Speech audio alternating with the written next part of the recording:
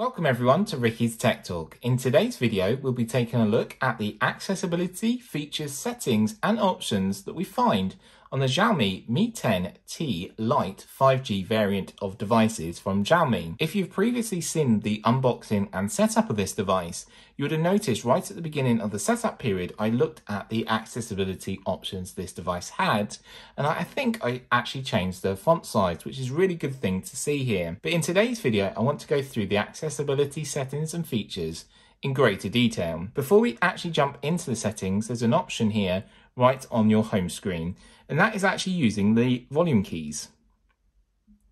Talkback on. System launcher. So this device comes with TalkBack pre-installed, which is great, and that's because it's using the Android platform. So with TalkBack on, it's a narrator and it will read everything to me on my display here, such as the time. Current time 316. Double tap to enter clock app. It will let me know the applications. Gallery. Play Store. File Manager. Music. One unread from Google. Security. Themes. Cleaner. Double tap to activate. Double tap and hold to long press. So it gives you options there to do as well. You can also select key options up here at the top. Battery 100%. So my battery's up to 100%, which is great. And use two fingers for navigation. Page 2, 16 apps.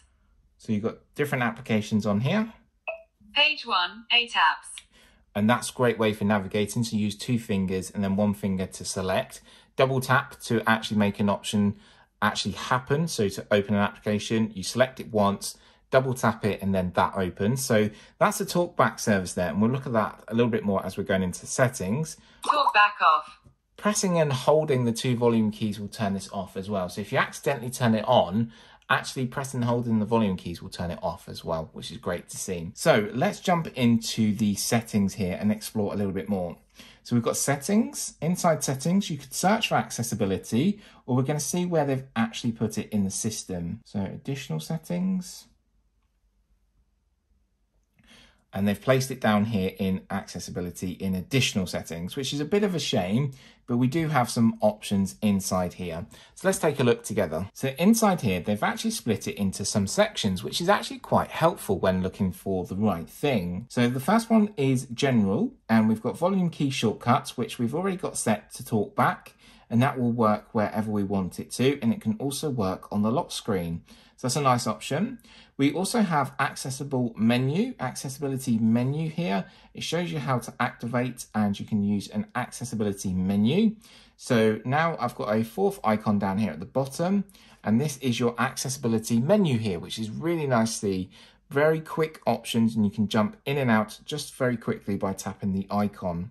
So if I actually turn this off and okay, that will disappear now as we might need that figure again for another option, but good to see there. We also had downloaded services. So we've got different services here that we can use and you might be able to download different applications to help you depending what you need from your smartphone as well. So that's what's in general.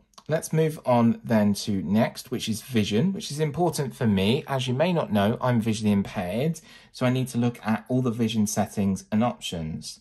So we have select to speak. So we're going to toggle this on, we're going to hit allow. And again, we've got the fourth icon.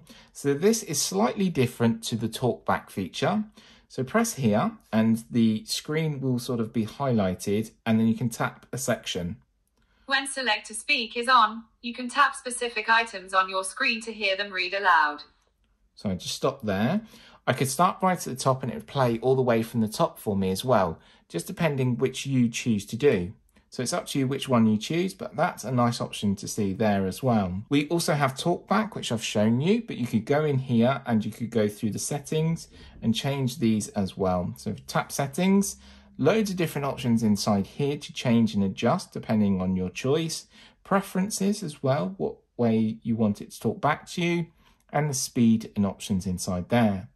So that's talkback. I like that feature very much. We have text to speech output. So this is where you got your speech rate and your pitch. So you can change and adjust these and you can actually play. And let me just slow it down for you so you can actually understand what that was. This is an example of speech synthesis in English. So you can change that depending on your personal choice there. So that's a nice option to see. Then we're coming down to display size. So I've already changed my display size, just making it a bit easier for me to see here. And you can have small, medium or large, depending on your choice. Great option to see there. We then have magnification. So you have magnification with triple tap and magnification with shortcut. So magnification with triple tap is quite simple. So once your display is on, three quick taps will actually enlarge your display for you. You can also pinch into zoom as well with a really large sharp display here from Xiaomi. Looks really good, crisp and clean. You can navigate round. One, two, three to come back. There is also another option you could use here that not too many people know about. So on your third tap, if you press and hold, it will actually keep magnified for you. So one, two, three. Use one finger to fly around, but as soon as you release, the zoom then disappears as well. So that's the accessible option there for magnification. There's also magnification with your shortcut here, which is down here at the bottom. And we can choose which one we want to use. So we want to use magnification and select. And there we go, tap, and then we can zoom in again. Press one finger, tap here, and it zooms back out for you. So that's magnification with shortcut. So really nice options to see there, but this will work wherever you are. So it's not just in settings. This could be in WhatsApp, it could be in Facebook, it could be in TikTok, it could be in anywhere. Anywhere you need to know information, so your emails as well. So underneath that, we've got color correction. So you've got color correction options here and you can select which one best works for you. And this depends which one it might be affected by, but that's the color correction options inside there. We then have color inversion. So this will invert all of your colors. So if I come back home here, as you can see, all of the colours are inverted. So it very much depends which way you want that round. Oh, let's just jump back into settings here, toggle that one off. So we've got remove animation. So this will remove any flashy animations on your device, making it easier for you to use. You've got high contrast text. So this makes it a bit bolder and a bit easier to read here. If you look at this text, it will change makes it a bit bolder and a bit easier to see. So a bit of a new option here that I haven't seen before is switch to speaker automatically. So when you're on a call, if you remove your phone away from your ear, it will go to the speaker automatically. And that's great for me when I'm in um, hold on calls all the time to different shopping or say I want to place an order somewhere actually I normally just put it down on the desk and put it on loudspeaker but to, for this to happen automatically is a real plus. I like that option there. We have a quick shortcut option down to accessibility menu which I've already spoken about. So along the top we're carrying on with the different options and we move into hearing. So you have mono audio and you've got audio balance. So mono audio is just via one channel. Audio balance is your left or your right side and you've got caption preferences and inside here, you can toggle on and you can adjust your captions. So say you can't hear what you're seeing, but you can change the captions. So we've got language, we've got text size, we've got uh, six different options inside there. And then finally at the bottom, you've got caption styles. So you've got different styles that you can choose from, six ones there to choose from. And also some devices have the caption live option as well. But they're the little options that we have here. Not great amount that I'm seeing so far. Our next one is physical. So switch access is a great setting. This is where it uses switches and control devices to control your smartphone. So if you're not able to do that with your fingers or with your hands, you can use different switches in different applications to use your smartphone. Really good option here. And in settings, there's so many different options to go through. And it's really nice that they've actually added these options because there's not too many options on here for accessibility.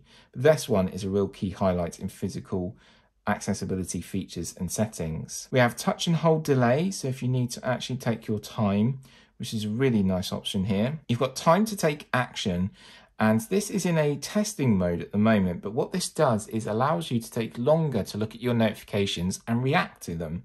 So you don't have to quickly flick them away or actually glance at them really quickly you do have time to take action. You've got power button will end your calls and the power button is down the right hand side here with your inbuilt fingerprint sensor and it's indented so there is a textural difference between the volume keys. No color difference though, it's just slightly darker. You've got auto screen rotate so you can put this in landscape or portrait mode. You've got your vibrate and haptic feedbacks and you also have dwell timing. Again this is for using applications and different features and options are available here for you to use. And you've got large mouse cursor as well, so you can use a mouse cursor. And at the bottom, it's suggesting keyboard, mouse, and trackpad. So you can add those in if you want to. So those are the main settings you see there. I'm just going to go into display because sometimes they hide options in display. In display here, we've got brightness, you've got reading mode. So if I toggle this on, toggle this on, you've got reading mode here, making it easier for you to read. You've got paper and you've got scheduled as well there. So you can choose which one you want to do. Say you want to read a lot of text. And what that is removing is the harsh blue light that may actually damage your eyes over time. You've got color scheme, so you can change the color scheme depending what suits you. I just use automatic or most of the time I actually use it as bright as possible. You've got refresh rate. So this device offers multiple different refresh rates. So you've got 120 Hertz or you've got 60 Hertz. It chooses up to you. So we're going to keep it at 60. We've got dark mode. So this is slightly different to the contrast, high contrast. So dark mode keeps the colors all the same here, but actually changes it in the menus which is a nice option to see. And actually, I will use that more than any other mode. Underneath that, we've got text size, and you can change and adjust the text size depending on you, which is great making it easier. Just going to turn dark mode off here. We'll go back to the original one. And as you can see, my text size is a little bit bigger there. So when device is in VR, you've got options there. Full screen mode, so when you want to watch your device in full screen mode. Auto screen rotate, which we've seen before, and full screen display. So there are all the settings and features that we find on the Xiaomi Mi 10 T Lite 5G variant from Vodafone. So what do you think? Let me know down below. It's great to see all the different options on here. It's a really good device. It's full of different settings and features that most people will be able to use. However, I do believe there are other devices out there that offer more accessibility use and better options depending on your ability. So make sure to shop around. For the most popular one, I'd say either Samsung or iPhone. So defending those two choices is up to you. I'm not going to set my preference out. You know what my daily driver is, but some people may prefer other devices. But for me, Ricky, thank you always for watching. Make sure to give this video a like. And if you haven't yet subscribed, hey, why not? Come and join us. Be a subscriber and ring that notification bell to be updated with all of my latest videos, including the review of the Xiaomi Mi 10T Lite 5G. And there will be a link to Vodafone UK in the video description. Massive thank you for watching. Please stay safe and stay well, and I'll see you in my next video. Bye for now.